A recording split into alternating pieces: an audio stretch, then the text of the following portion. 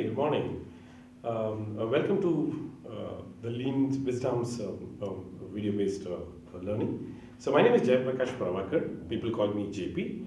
And uh, I'm a, I know, if you don't know about me, I'm a SAFe uh, consultant and agile consultant. And I've been consulting for 8 to 10 years.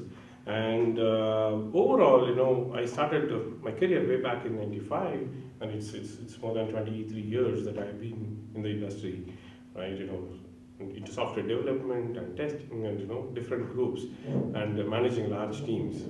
Yeah. So in this video, I'm going to take you through a framework. I'm going to introduce you to a framework called Scaled Agile Framework. Yeah. So let's kind of step back and see what is this framework all about. Right? Why do we need this framework?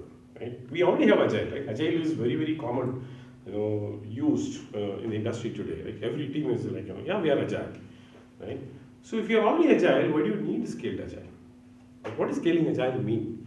Right?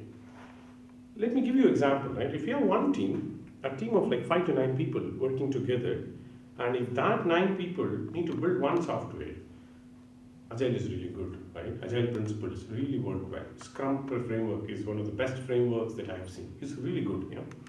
What if you are building an enterprise software development or enterprise uh, product development which has a combination of a software, a hardware, and firmware, right? All these come together. How do you build, you know, a product with 100, 100 plus people? Agile may not work there because the, the Scrum is all about one team. Yeah. So that's where you need a scaling agile framework.